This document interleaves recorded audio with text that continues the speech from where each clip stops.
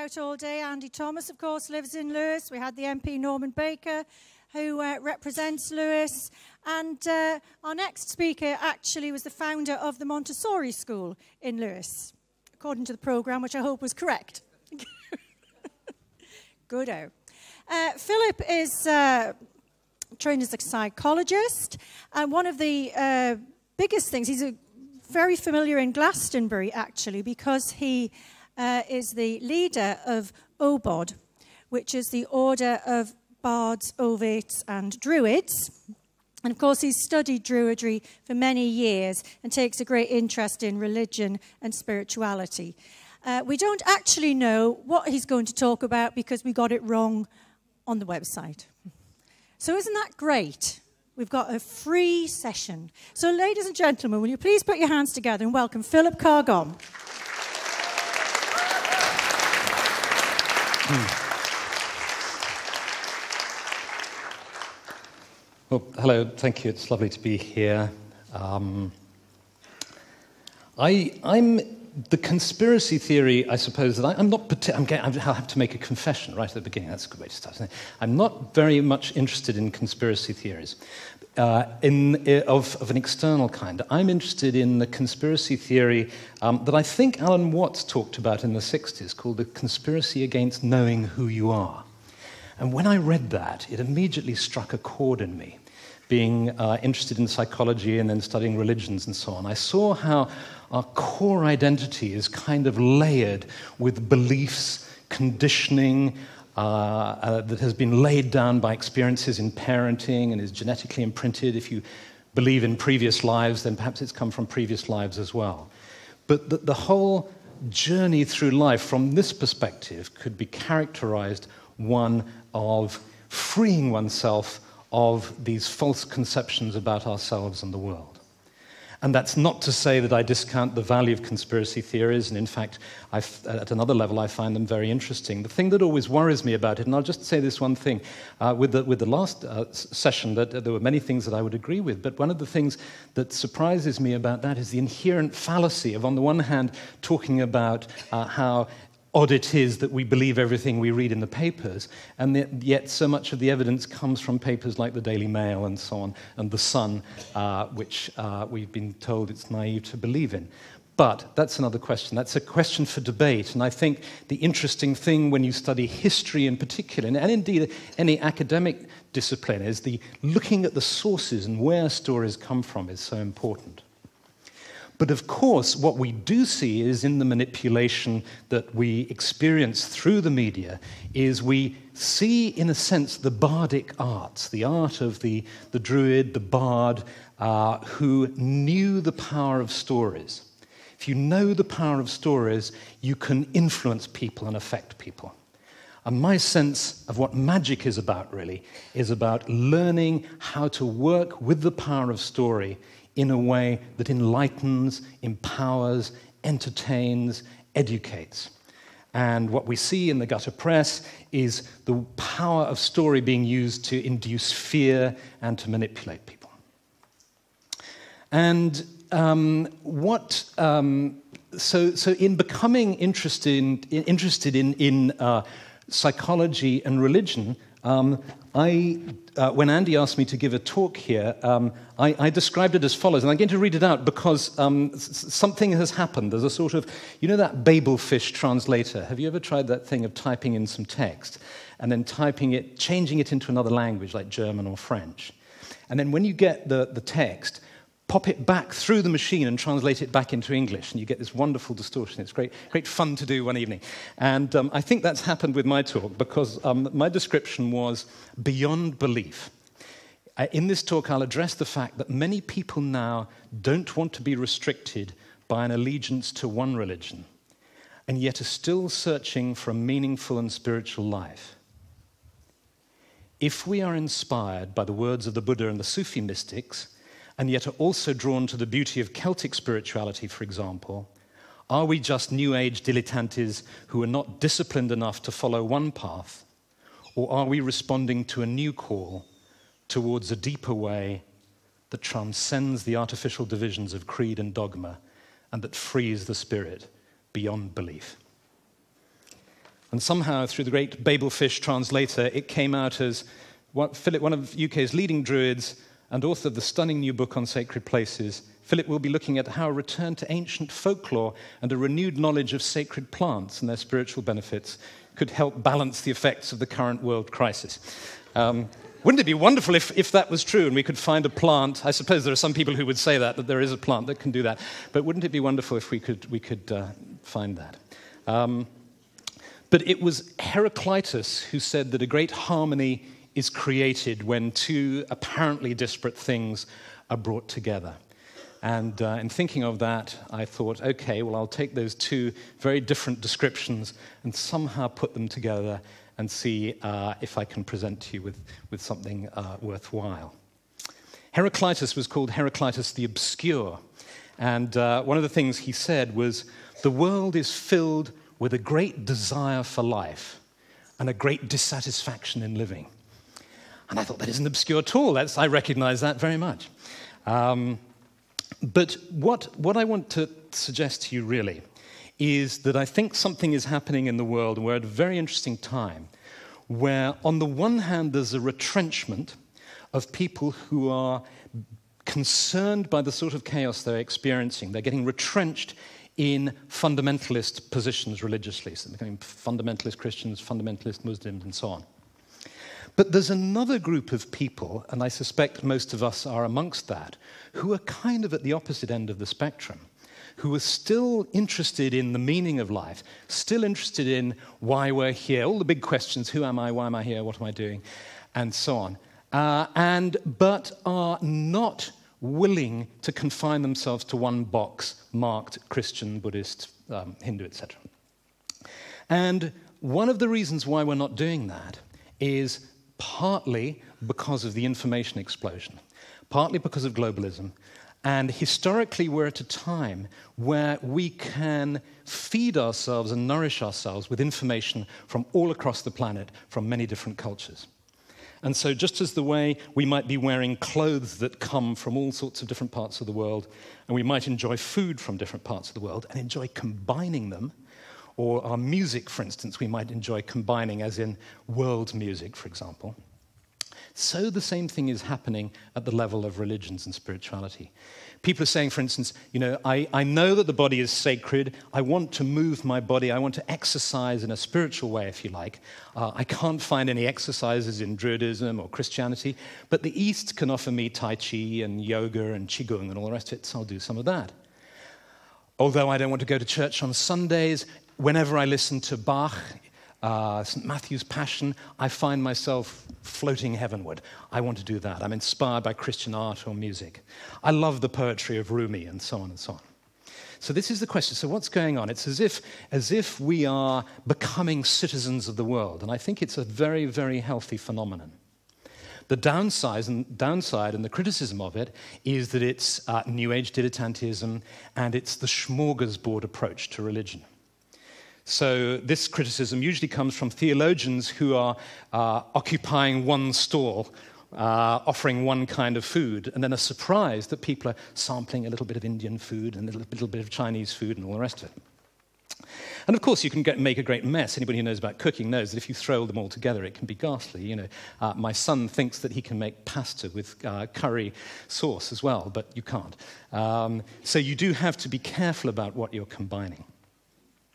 But there's something else I think that's going on as well, which is what I would entitle um, the return of magic. Because at the same time as many of us are becoming open minded and are feeding ourselves spiritually and intellectually from many different streams, so at the same time, people are becoming interested in magic. And there are more people practicing magic in the world today than at any other time.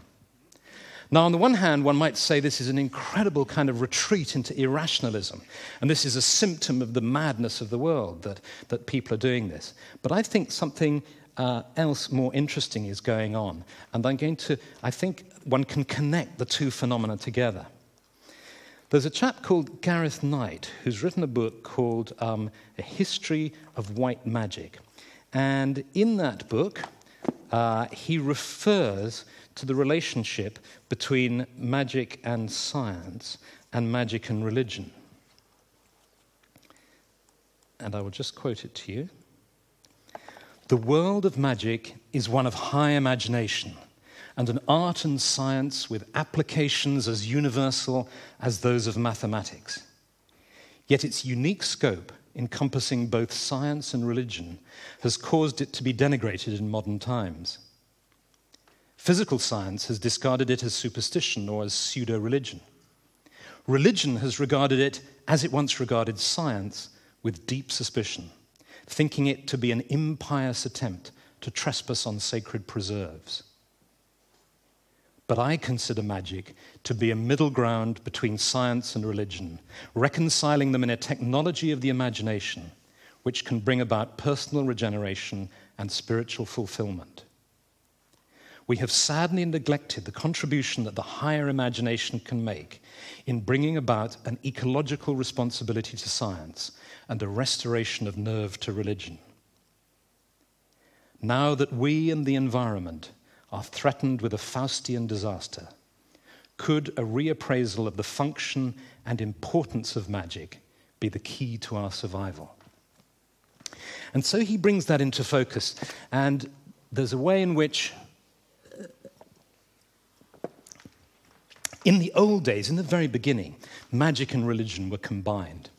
Magic, if you like, is the experience we have of when something emerges into life from the darkness, from the unknown. So I believe that the earliest experiences of magic were the experience of seeing the sunrise, the experience of seeing stars appearing in the night sky, the appearance of, uh, of a baby emerging out of the darkness of the womb. And we know that the earliest magical rituals were when people went down into the caves, undertook ceremonies, and then emerged at dawn uh, to be reborn. So powerful was this primal experience that, of course, when uh, places like Newgrange in Ireland were built, they were oriented to the winter solstice sunrise, for instance. So when the year was reborn, the sun was reborn, they were enable, enabled to enact this process of, of birth and of rebirth. And so, this experience of light emerging from darkness, of the known emerging from the unknown, is essentially the magical experience. And we say ourselves, when we see something, when something suddenly appears, we go, oh, that's magic. And of course, that's where you get the connection with stage magic, when the, the white rabbit is brought out of the hat, as if by magic.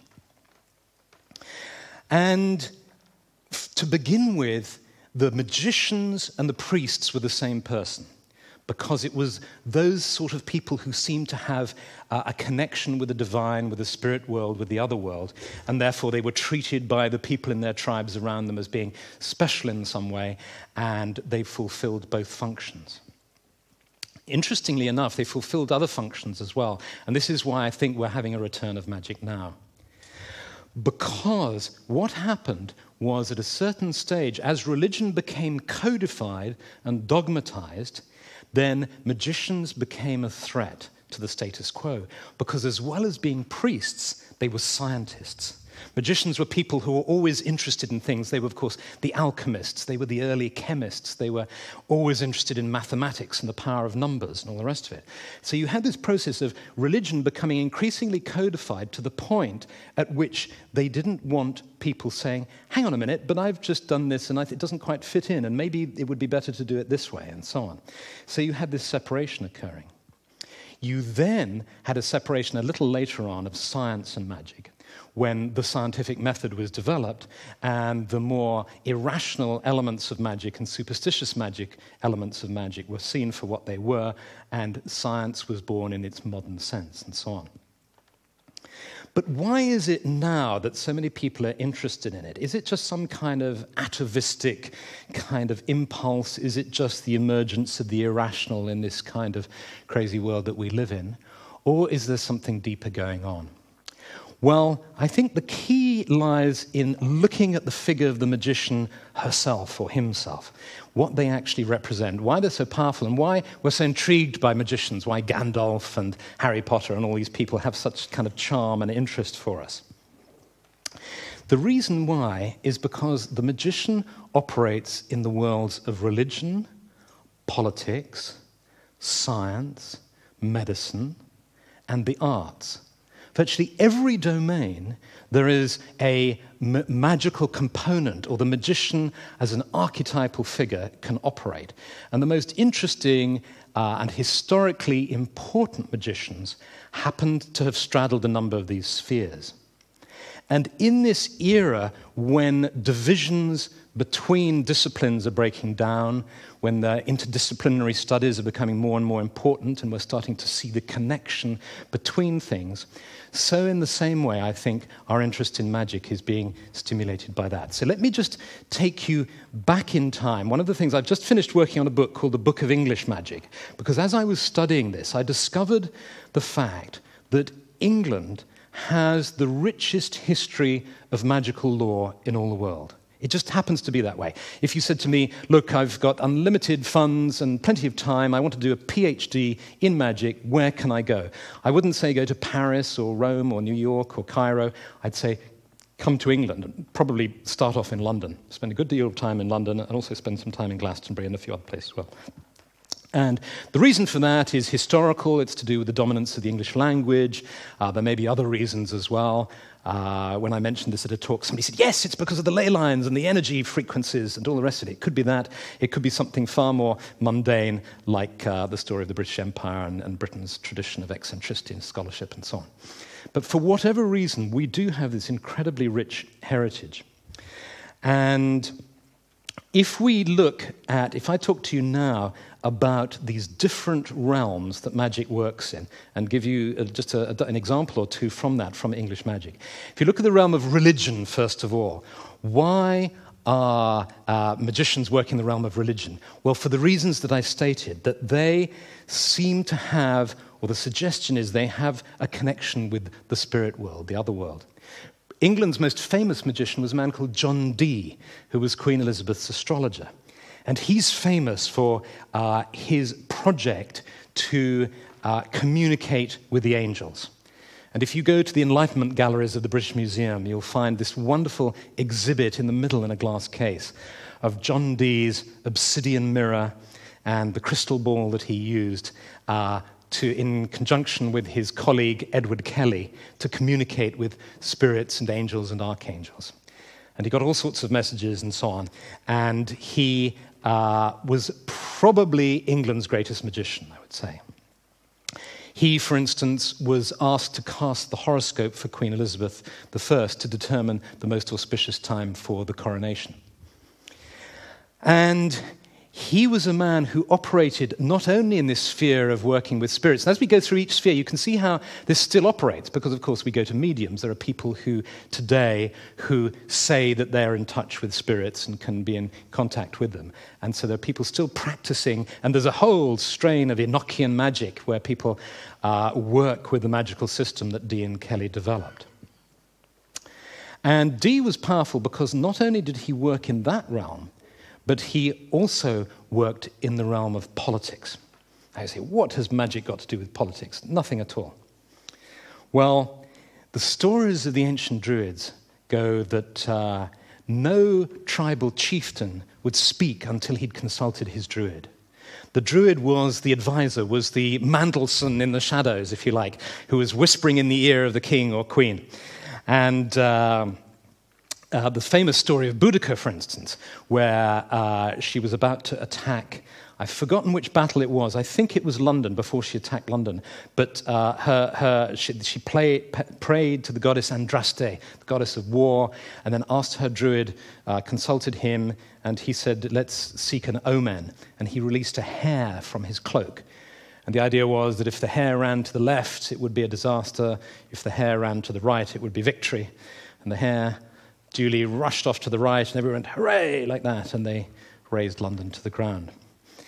And uh, this idea of the eminence grise, the hidden power in the background, advising the ruler, is a very powerful one that we see continuing to today. I mean, you remember, for instance, the story of Nancy Reagan, or, and I think Ronald as well, with um, the astrologer, when they discovered that uh, Nancy was consulting an astrologer.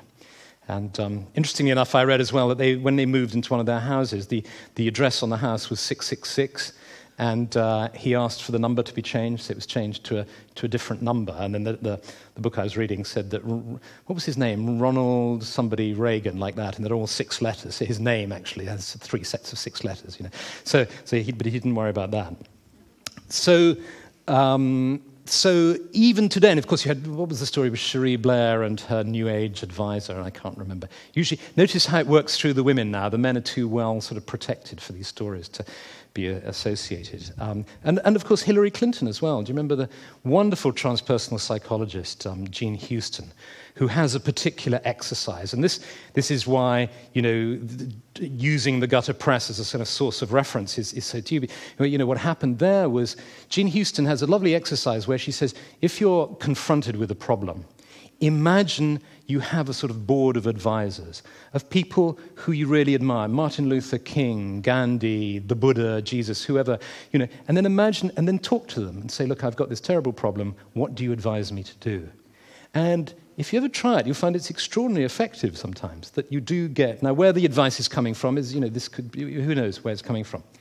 But they got hold of it, and, and Jean Houston was a friend of Hillary Clinton. And so suddenly it was um, you know, the guru advising Hillary Clinton to talk to the dead.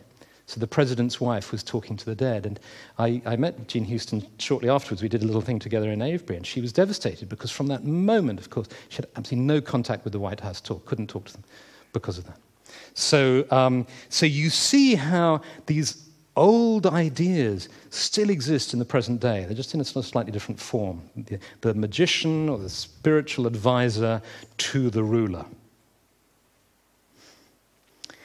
So Dee was doing that as well. He was, it was his idea, I believe. He came up with the first idea of the British Empire. He actually wrote a, uh, an essay on it, and it was his idea.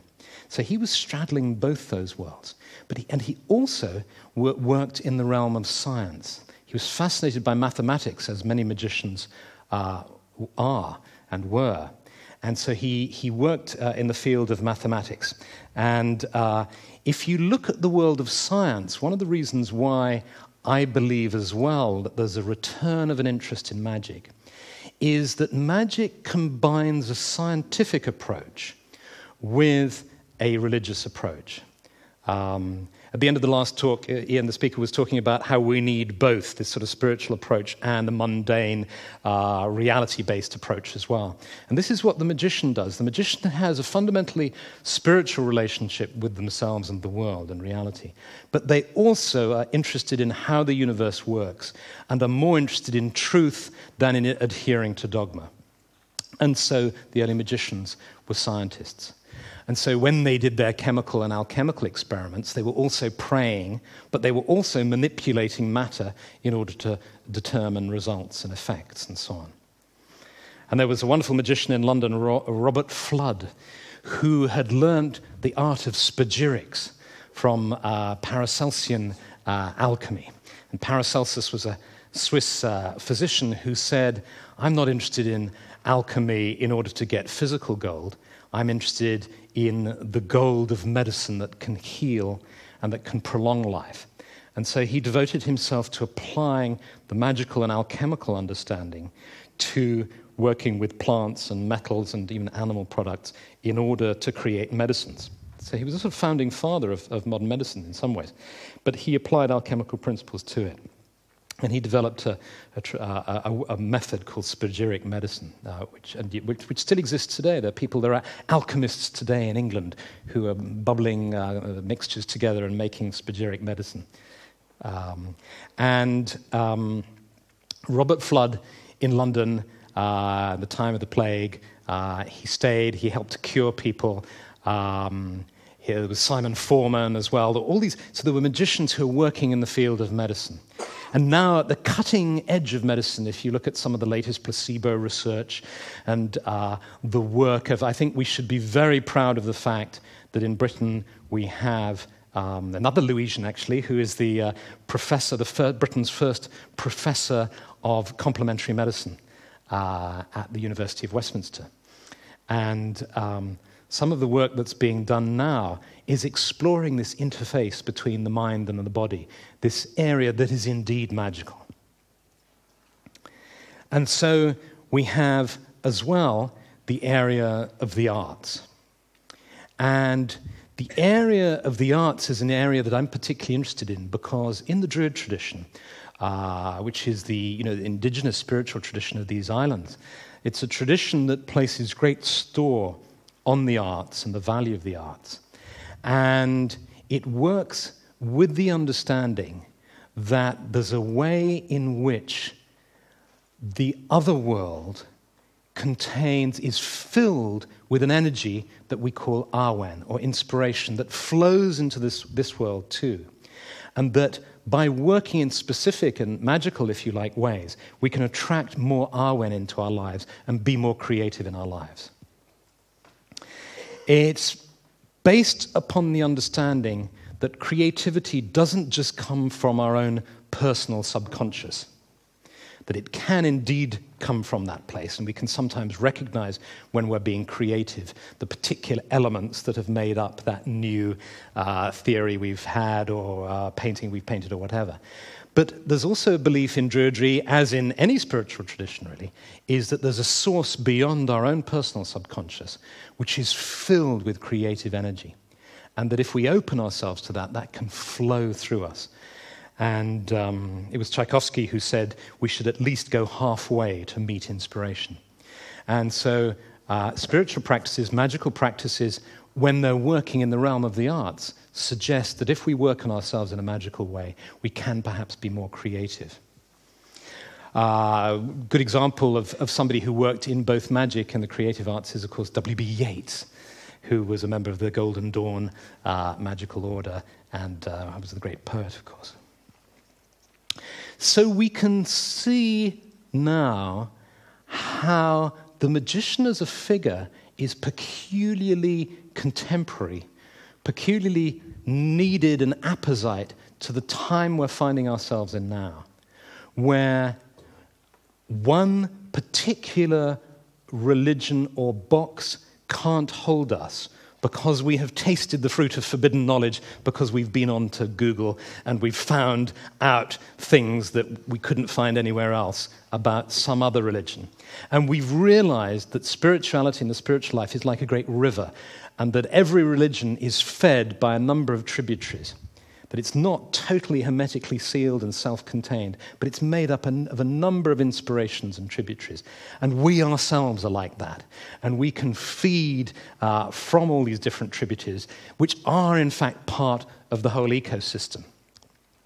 So, this requires a kind of reorientation because, to begin with, of course, we can get lost and feel disoriented and want the safety of one particular faith or one particular set of dogma.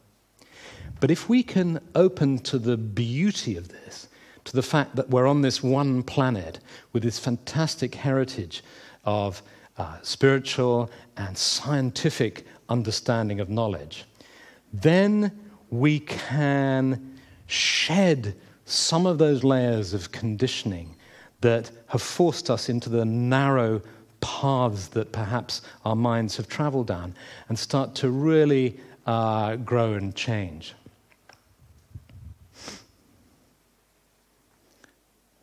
When am I supposed to stop? I don't know how long that's been. Sorry? 20 minutes. Fantastic. Okay. Um, so, where were we? So, yes, it, particularly apposite to today, because what we need now is it would be foolish to turn our backs on science because of the huge strides, the immense amount of knowledge and help that it's been in the world. But I believe it's also foolish to turn our back on the inspiration, the comfort, the nourishment, the insight, the philosophical depth that has been developed by the world's great religions and by the world's small religions too, and by spiritual paths in general.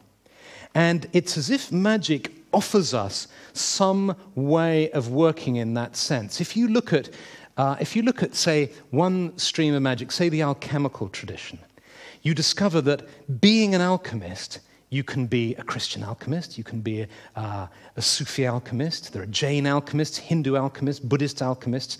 Alchemy runs like a kind of hidden seam but behind every religion. It's a brotherhood and a sisterhood of understanding that transcends the dogmatic barriers. So alchemists can commune with each other and talk with each other as magicians can, if you're using that terminology. Magicians aren't worried about the label that you're wearing, they're worried or interested in your depth of experience and understanding. And so perhaps magic is one term that we can use to help us negotiate in this great sea of knowing, to help steer us and, and empower us as well. Because one of the differences between following magic, the path of magic, and following the path of religion is that magic is empowering. One of the differences, and one of the reasons why it's separated from the world of um, dogmatic religions, was because magic gets you involved. It's an active approach to the spiritual path. It's as if magic says, lets you into the kitchen and lets you play and explore with the materials. This is why it's scientific. I wonder what happens if we do this, and so on. Whereas conventional religions tell, tend, uh, on the whole, on the whole, not always, tend to, to not uh, to provide you with a meal. You tend to be in the restaurant rather, in the ki- rather than the kitchen. But that's enough from me.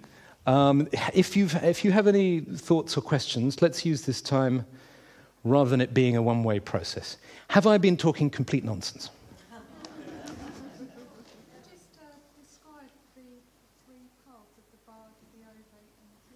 Describe the three paths of Bard, Ovate, and Druid.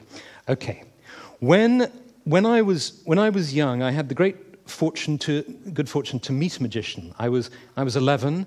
My father taught history at a Crammers. I don't think they exist anymore. Maybe they do. It's called a Crammer, where they um, a sort of tutorial kind of establishment. And the principal of the Crammers was the chief druid. Uh, and um, so I met him when I was 11. He was a family friend. He was like a kind of uncle figure to me. And um, so from an early age, I was introduced to the world of the Druids. And on the one hand, uh, it seemed a strange world. You know, I was a teenager, it was the 60s and then the 70s. Uh, everything was changing. The people who were doing druidry then were mainly elderly people uh, and who would do ceremonies on Glastonbury Tor. I was initiated on Glastonbury Tor when I was 18. And, uh, and uh, there were about just a dozen elderly gentlemen and ladies and who would forget the words of their ceremonies and have to have little sort of um, cue cards on their on string around their necks and so on. Um, so a part of me was thinking, what am I doing here? You know, uh, while all my friends were partying and going to pop concerts and things. But the thing that kept me going was this sense of the magical tradition of these lands. The fact that, you know, driving, you know, when you drive uh, and you see Glastonbury Tor for the first time, and it's just wonderful, and then you learn the legends and the stories and all the rest of it. And so the idea that we live in a magical landscape had always appealed to me immensely. And in 1969, you know, 1968 and 1969 were sort of hugely significant times. The amount of stuff that happened, you know, with, you know, assassinations and the riots and hair, the musical hair appearing and all, all sorts of things that you can tie together and see a massive sea change was occurring in, in the culture. And in 69, John Lennon um, wrote a song called Mind Games in which he talked about some kind of druid dude. Uh, so something, you know, parting the veil, um, da, da, da, the search for the grail. So if you listen to it, it's easy to miss it because there's a lot of music going on as well. But he talks about uh, parting the veil. And in that same year, a sort of cult classic was born, uh, a, a View Over Atlantis by John Michell, who died recently. And John Michell wrote this book where he brought together the ideas of Alfred Watkins about ley lines that had been developed in the 20s and 30s with ideas of feng shui and geomancy and, and dowsing and so on, and, and numerology and magic, and brought them all together and presented us with this image of a magical landscape. And so there was this, and you know, and, and this is why I think John Lennon, for instance, was so interested in. There was this opening to the fact that we live in a magical landscape. And so um, I, I, joined the Order of Bards, Ovates, and Druids. And um, in, over the last, uh, that was for, for 40 years ago now. And over those 40 years, uh, I've explored all sorts of different paths and studied psychology and psychotherapy and so on. And, but I've always come back to it. It's always acted as a kind of base and foundation for me. Because the three, the three aspects of the bards, and druids, the bards are people who work with the power of the word and of song, of music, of dance, of the arts, and of memory.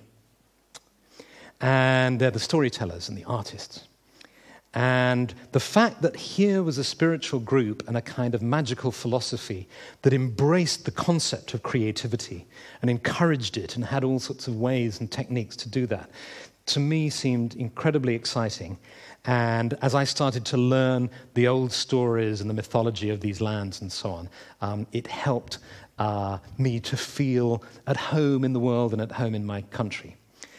And the Ovates are the group of Druids who are interested in the power of the trees, of plants, of the natural world, of stones, of rocks, of earth energies, and also of the particularly elastic nature of time.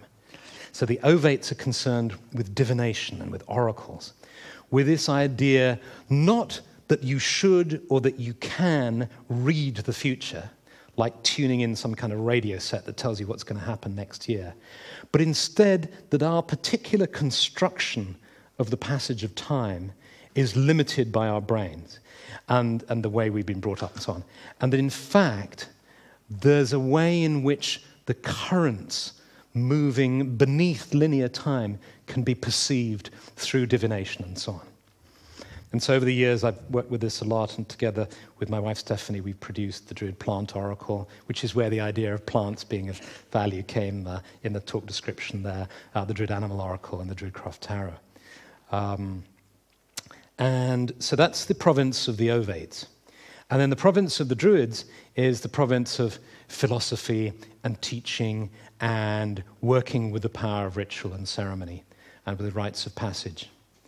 Because one of the things I realize too is that however much one may feel that one can do without religion or spiritual way, when the times get really tough or when significant events occur, like deaths or births or marriages, as human beings, it seems to me that we need ritual. We need to mark special events in some way. And then the question comes how do you do it? And again, I have to mention Lewes because I suspect we are the only town in the country that has a ceremony shop. Uh, we have a little shop uh, where you can go and arrange an alternative funeral or wedding or um, an idea I rather like is the idea of arrange, having a funeral before you die. Have you heard of that one? It's so that you don't miss all the eulogies. it's a bit spooky, but I mean, kind of, I wonder if anybody's done it. Um, so, yes, so that was the answer.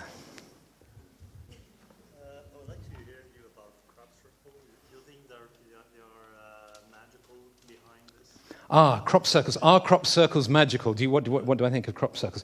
Do you know, I really don't know. All, all I know is that I was sitting outside the pub in Avebury one day uh, with a friend who lived around there.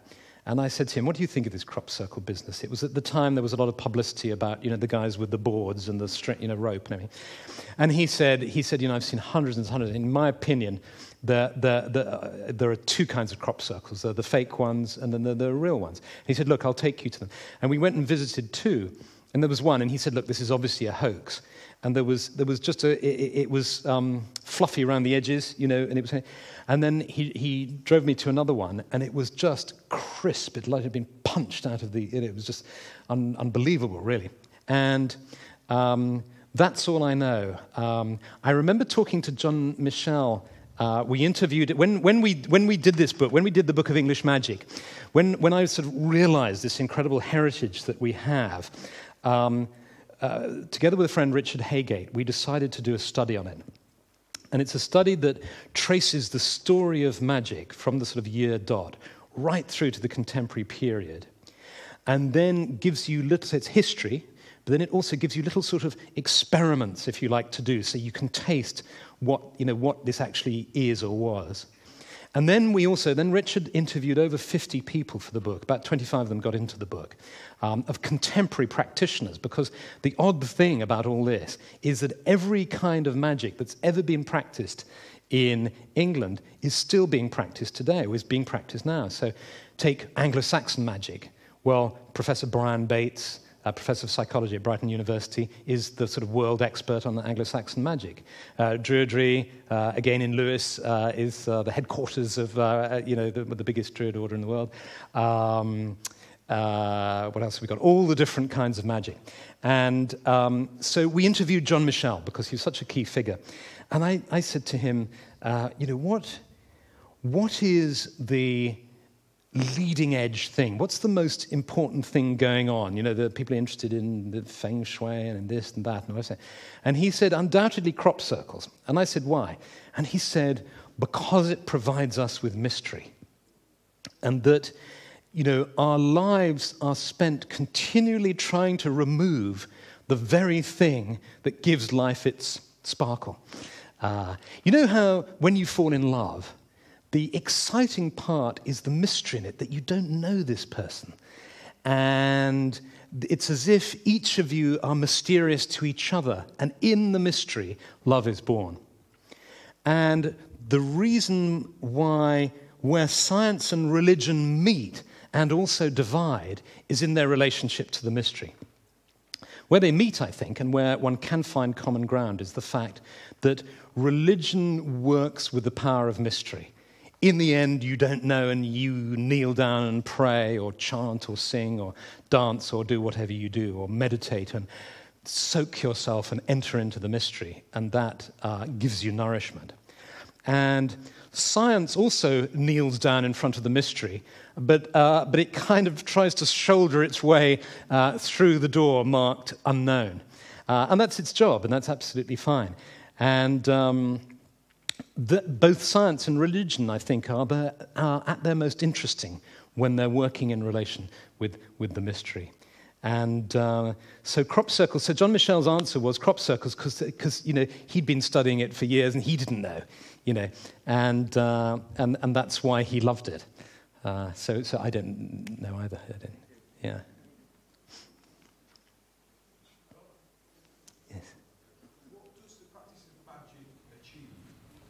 What does the practice of Yes, yes. What, what does the practice of magic achieve? That's a, that's a very good point. Um, let me, right at the back of the book, we've got a number of um, appendices. One of them is called On the Importance of the Armchair in the Training of a Magician. And, uh, and then and then there is a chapter, uh, there's an appendix called On the Uses of Enchantment. And I think the way I can best answer your question is just to quickly uh, read that to you because you'll see straight away uh, what, what the point is. In this book, we have surveyed the history of magic in England, but of what possible use is magic in this modern age? A poet or artist might say it is supremely necessary to give inspiration to the soul. A psychologist or philosopher might say that magic can provide meaning in a world that can try us all at times. Like Hermes, who is both messenger of the god and patron of thieves, magic can be used to dazzle and seduce, to curse and summon demons, or it can be used to heal, to inspire, to acquire knowledge, and to effect personal transformation. Magic defies simple definition. For some, it offers a means for changing consciousness, for others, a way of accessing the spirit world. To others, still, it offers ways of manipulating the circumstances of their lives or of opening themselves to a sense of awe and wonder. Though a concise definition may evade us, we can still list some of its most important uses for transforming the self, for discovering one's true purpose in life, there's more explanations, but I'll just buzz through it. For the development of supercognition or extrasensory perception, for enhancing normal cognitive functions, for achieving altered states of consciousness, for the development of virtues, for living longer, improving health, enduring hardship and pain, for engaging in scientific or Gnostic inquiry, for learning how to fly, um, in you know, out of body journeying and so on. um, for finding things that are hidden, for communicating at a distance, for time travel, for influencing events, for protection against misfortune, for inducing miracles, and so on. So it's got a lot of uses.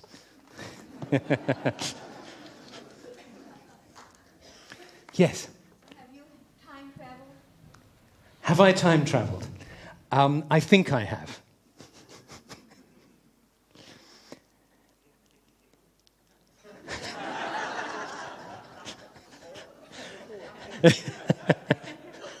There's another question right at the back. Yeah.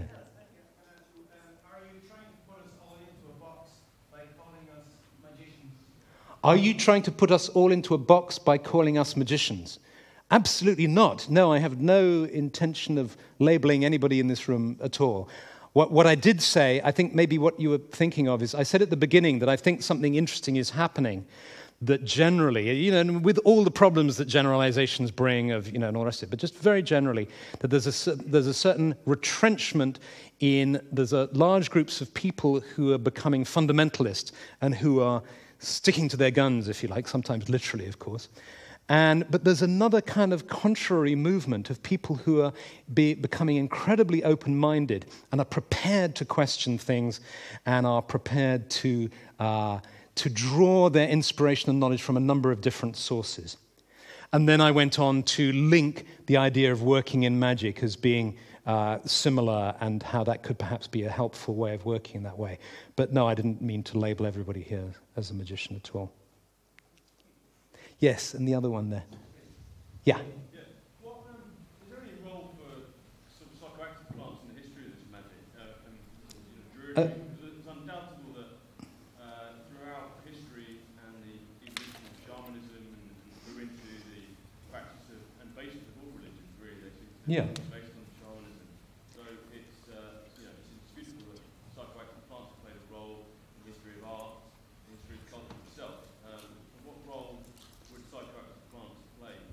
magician Okay. What the, the question was what role would psychoactive plants play in the practice of magic? And, uh, you know, there's been a long history of its use in shamanic traditions around the world and so on.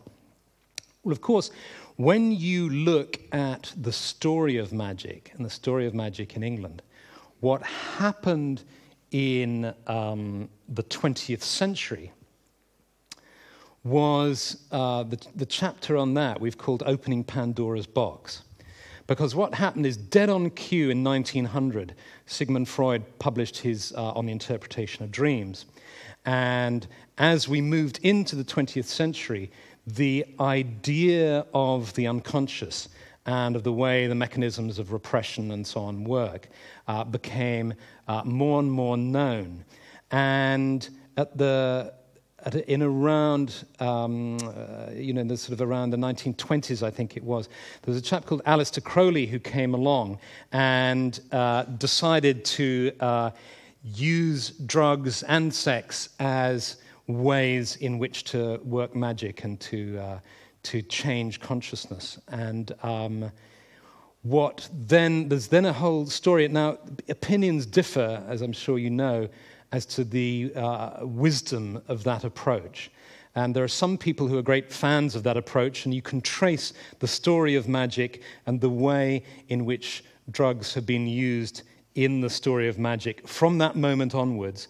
And you can also trace the, uh, the story in which the value of drugs was believed to be, you know, that it, that it was believed to be harmful and drugs were not used. That's one thing. What I think you're pointing to is the historical component way back.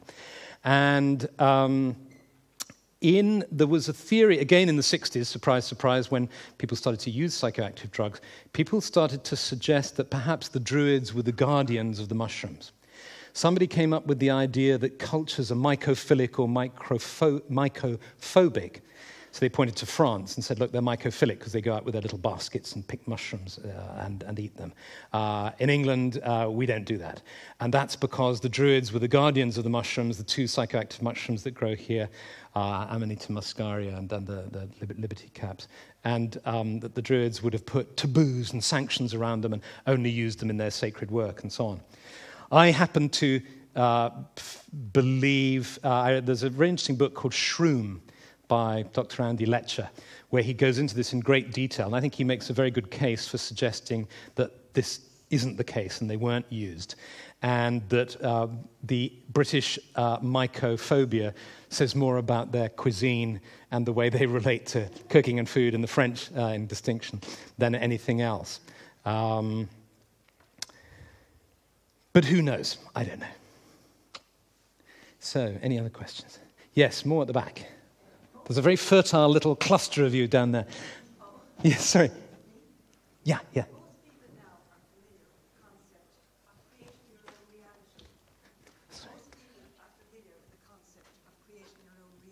Most people are familiar with the concept of creating your own reality. That too is a form of magic. Yes, yes, thank you. Yes. And you know that idea of you create your own reality? I think it's always important to include the corollary that we make each other's reality as well. Otherwise, we fall into the big New Age trap of solipsism, of where, where it becomes very selfish and it's all about, you know, you can get whatever you like and you can get what you want. You create your own reality. And then, you know, to hell with everybody else is sort of implicit in that. Uh, the fact is, we create each other's reality, which is where social responsibility comes in. And that's an, uh, an aspect that has tended to be put to one side in the growth of the New Age movement.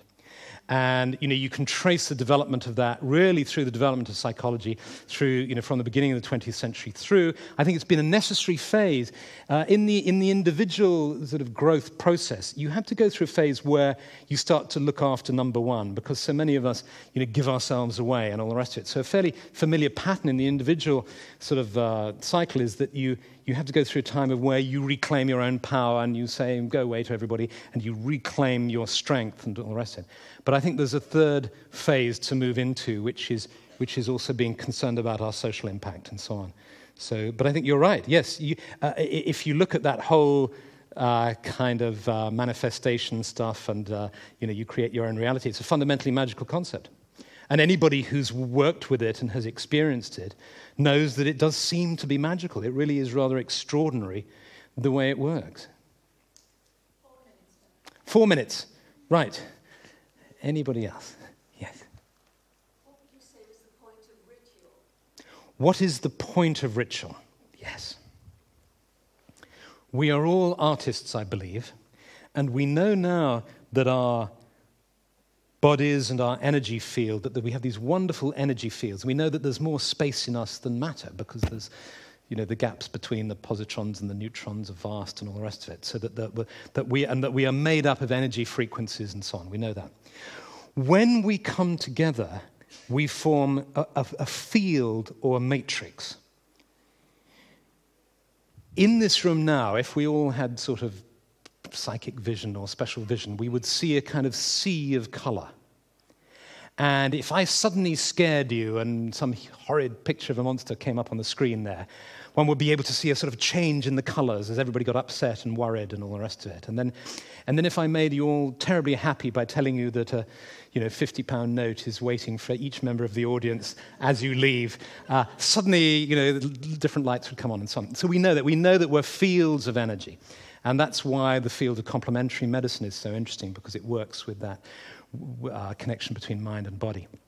In ritual, when you come together, you come together with intention, and it's as if you're artists. So, if we were all doing a ritual here together, or if we all did a meditation here together, uh, and we could introduce a little bit of ritual into it as well, like that, you would change the energy field. So, the idea of a ritual is it has an intention, and you change the energy field. And in, in our Druid ceremonies, what we do is we, we, we all, always do our rituals in circles because we're all equal, and in imitation of the, the circle of the circumference and of the earth and so on, and the, the sun and the moon. And we, we hold hands. And the first thing you notice as you start to do it is that if you, if you stand a group of 20 of you and you all stand like this, you feel a certain way. All hold hands and close your eyes, and you can immediately feel this sort of field that you've created. And then if you start to sing or engage in various ritual acts and so on, then it starts to change. So one way, I, I, had quite a bit of difficulty with ritual because a lot of ritual can be empty and pompous and um, seems to be taking away from uh, the spiritual uh, sort of path in, in some ways. But I, I once ma- asked my old uh, Druid teacher, and he said, Ritual is poetry in the world of acts. And that says it all, I think. Poetry in the world of acts. So, on that note, I'd like to finish. Okay, thank you.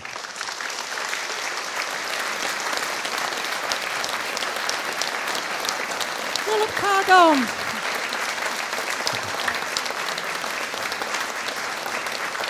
Thank you, Philip.